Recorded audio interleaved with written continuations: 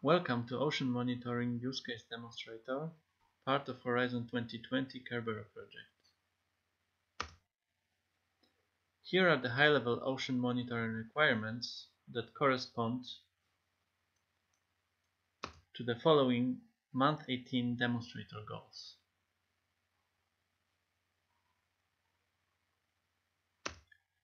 The Ocean Monitoring Demonstrator focuses on the following highlighted components with the following CERBERO skeleton mapping.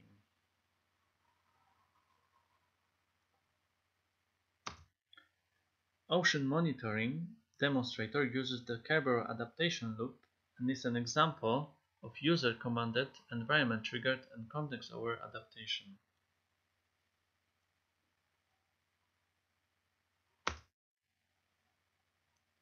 The Ocean Monitoring Demonstrator tests the following system functionalities.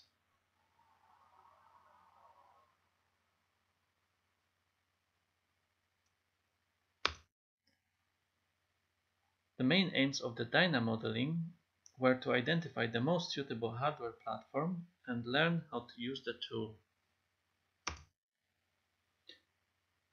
This is the overall structure of the models with sensors, image processing, compression and storage components. The following platforms were tested and the results were in terms of processing load, in terms of power requirements. In conclusion, the Snapdragon architecture was selected.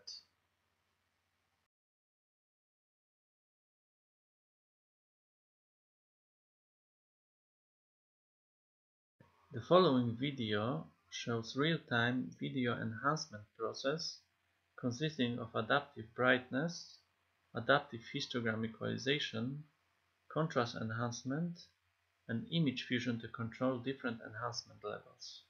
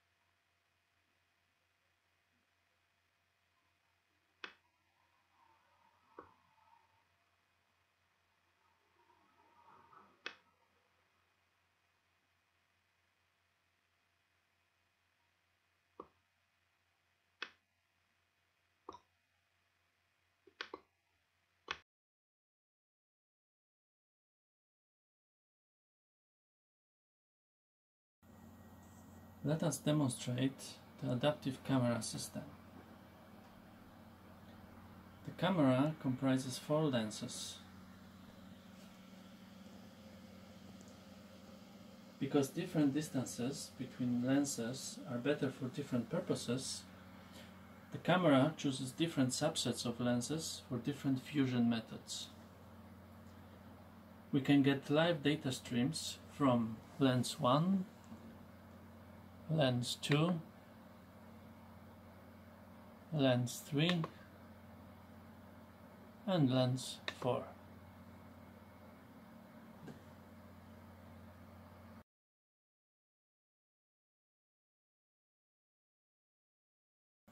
Let us demonstrate one of the super resolution techniques where two rectified images are fused together to reduce image noise.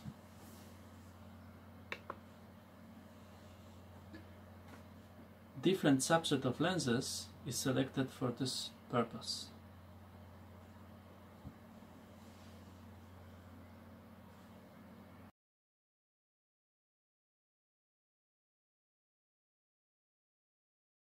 Let's now demonstrate how the information from two rectified images can be used to calculate the depth disparity maps related to distance measurement. Different subset of lenses is selected for this fusion.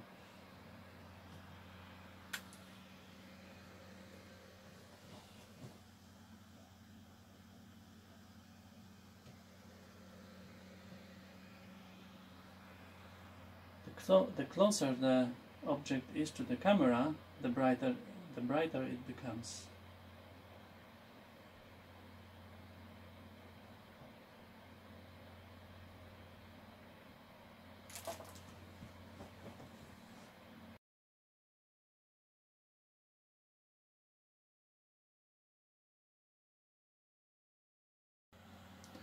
Another functionality of our adaptive camera is its capability to enhance footage.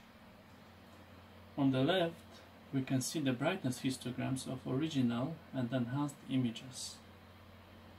Above, we can see the mean brightness of the original and enhanced image with our new adaptive brightness technique.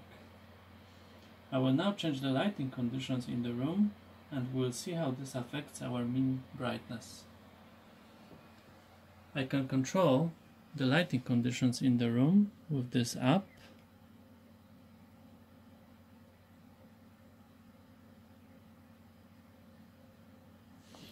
Let's see how different lighting conditions affect the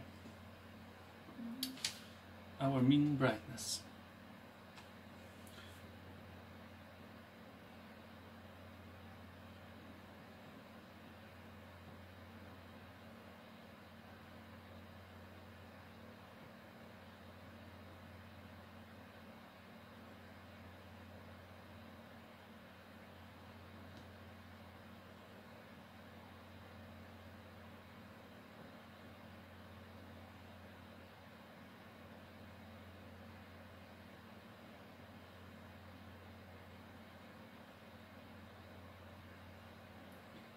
As you can see, the enhanced image adapts its brightness to changing lighting conditions by compensating for the loss of light. We can also control the level of image enhancement with the sliding bar.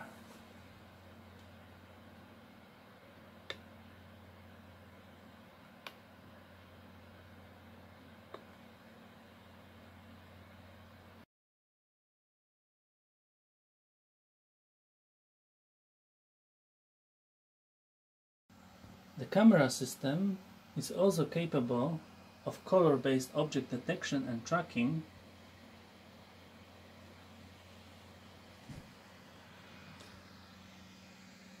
As you can see, the object was detected and now is being tracked.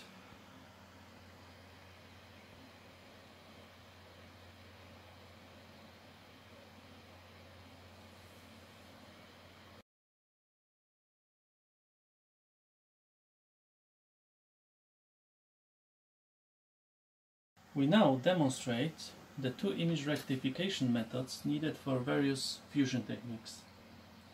First, we can rectify images using Harris corner detector and scale invariant feature transform. After detecting key points, the image descriptors need to be matched and projective transformation calculated. First, you will see the matched areas.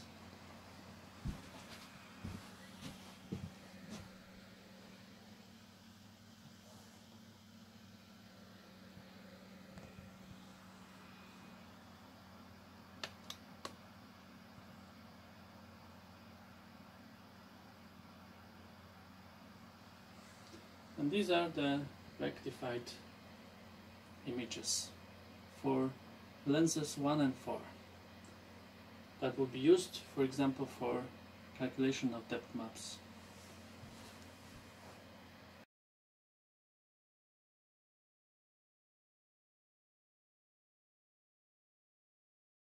The other rectification method is the chessboard method. First, both lenses detect all the corners of the chessboard presented at different viewpoints, and then the relevant transformations are found.